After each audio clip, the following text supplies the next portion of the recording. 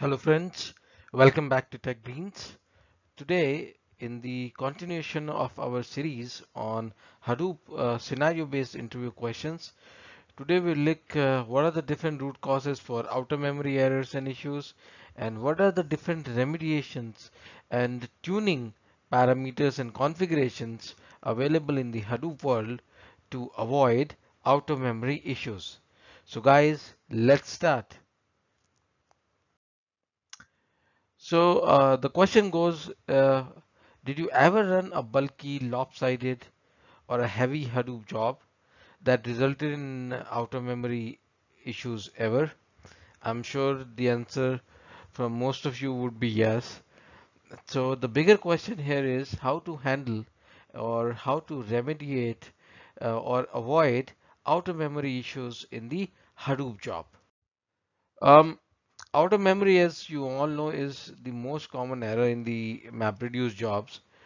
And uh, reason is quite simple because data keeps on growing uh, with different sizes and uh, you never uh, can estimate the right amount of uh, uh, data that would be processed. Definitely a very challenging environment for developers to estimate the right amount of you know memory needs to be allocated for a particular Hadoop job and uh, because of which uh, most of the time you will see heavy uh, and long running bad jobs will result in out of memory issues. And uh, but the good point in the Hadoop HDFS world is it's not only admins that can uh, you know allocate more resources so that the cluster can be more resourceful but at the development level developers also have uh, given an opportunity to manage their own jobs and this is facilitated through a number of different tuning parameters and configurations available to uh, do the allocation of resources for a particular job on a optimized way.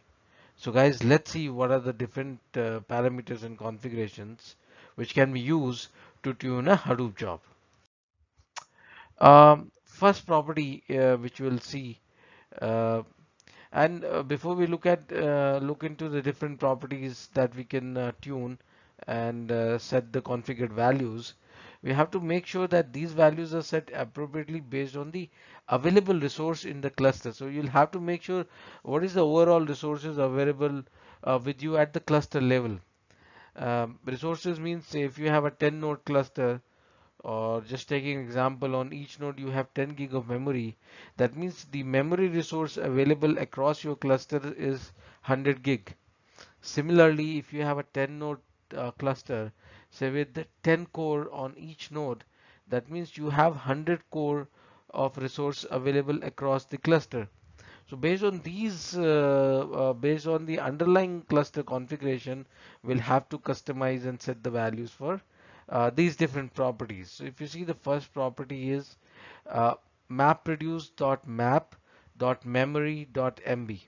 So it is the maximum amount of memory used by a mapper within a particular container.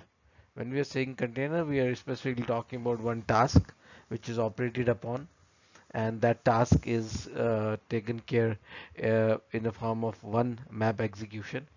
So this property gives the maximum amount of memory that could be allocated for a mapper and uh, we can optimize in a way that we know uh, that what what is the number of concurrent mappers gonna run for a particular job and what is the total memory available across the clusters. Second important uh, or a complementary uh, property to this one is mapreduce.map.java.opts. It is the maximum amount of heap size which is used by a mapper and it must be less than the above value right? Uh, the above value is uh, the total heap uh, value allocated right? Uh, within a container Con when you say container in the first one when we said within a container it means we are talking about one JVM one task execution would be happen as in inside one JVM right? And uh, in that JVM uh, the first property gives you the maximum memory allocated within that JVM, uh, what could be the maximum amount of memory which could be allocated to your heap size, right? Uh, that is defined by the second property. and obviously it should be less than the total memory at the container level right so that you have to leave some memory to run different kind of uh, daemon processes and stuff like that uh, similarly this one on the map side we have a corresponding property on the reduce side map reduce dot reduce dot memory dot mbs it is the maximum amount of memory used by a reducer within a container right so within one JVM process, is the maximum amount of memory allocated on the reducer side. Similarly, there is the next property is the supplementary to that, which says this is the maximum amount of memory which would be allocated to the heap. So obviously, it should be less than the first one. And uh, a very important property, though it is mostly used by the uh, cluster admins, yarn.scheduler.maximum allocation.mb. So this property allows the maximum allocation size for a container. Right, this is the maximum allocation size for a, for a container, uh, which can be uh, created or scheduled by the underlying resource manager, which is Yarn. So, but this requires administrative privileges. This cannot be done at the development level, but a very important property indeed to be configured so that the right amount of memory is available for the job execution so to avoid the outer memory issues apart from that there are some other factors also which will impact your memory and uh, utilizations and cause outer memory issues uh, such as spilling data over disk which can be corrected using following configurations. So most of the time it will happen that you know you're trying to process a particular data but it cannot be contained within the memory and it will be spilled over to the disk which will cause a lot of IOs and will result in the outer memory issues as well. And uh, the first property in this line is you have map reduce dot reduce dot shuffle dot dot buffer dot percentage. This is the usage threshold at which an in-memory merge will be initiated. Expressed as percentage of the total memory allocated to storing in-memory map outputs. So whatever the total memory you have allocated for the in-memory uh, map execution, this property is, takes the percentage out of that, which will which will become a threshold that if it touches that much percentage, then an in-memory merge will be initiated.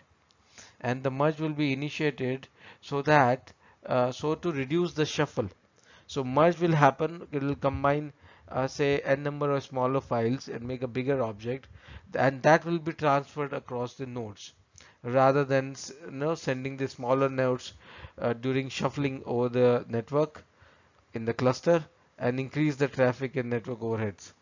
So this is that property. Second property is mapreduce dot reduce dot shuffle dot memory dot limit dot percentage it is the maximum percentage of the in-memory limit that a single shuffle can consume so during shuffling there is a memory need uh, how the data would be uh, serialized uh, and sent over the wire and this percentage defines that how much could be taken for that functionality from the overall memory allocated to an individual container um, similarly, there's one more important property for advanced configuration, and this is map reduce dot reduce dot shuffle dot parallel dot copies. It defines the number of parallel transfers run by reduce during the shuffle phase. Know, shuffle phase is the phase which will uh, mostly uh, causes the outer memory because it's trying to send the data across. And to send the data across it needs to be serialized. And to serialize the data packet needs to be bring into the memory. And if that memory doesn't suffice for that uh, amount of data it will result in the outer memory issues. Um, so guys these are some of the remediations in the form of uh, configurations and parameters which can be tuned to avoid the outer memory issues so that's it in this particular video. Have a good day ahead. Bye bye.